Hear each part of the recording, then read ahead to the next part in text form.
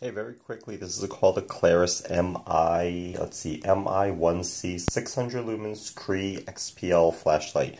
It's very small, so there it is. It takes one 16,340 battery, or you can use your own CR123A. It's literally an inch and a half long, so you get the usual.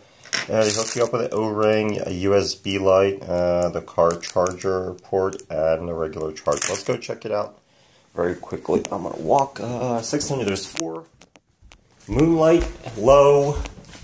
There is medium, high, I guess, and then there is four, and then there is a SOS and a strobe. So let's check it out. So I was under the impression this would be more of a throw flashlight, which is narrow. Um, it's a narrower, narrower beam, but it's more of a throw, which I don't. I'm not a throw. It's more of a spotlight, which I really don't like too much, but let's check it out anyway. So here we go.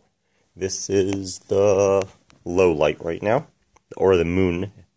Moon is like literally one, it's about one, one or two lumens. You can't really see much. So that's the moon, and then there's a second mode right here. So that's a little bit better. I'm not sure how many lumens. It might be like 10 or something, but that's, you know, this has a throw I mean, this doesn't have a throw. This is a spotlight, so that's why it's good just to measure surface. Then this is the third one. And it's not bad. More of a throw, as you can see. And this is the fourth one. Not a throw. I keep saying throw. It's more of a spotlight. And this one's pretty bright.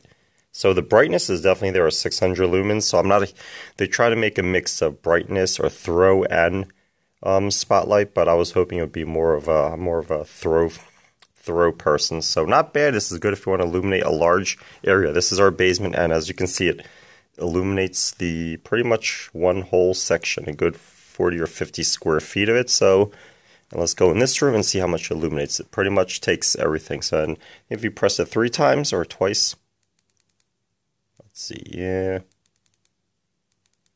Yeah, two times quickly you get the strobe, and then two more times and you get the SOS. So that's about it overall. Not bad. That's it. Bye.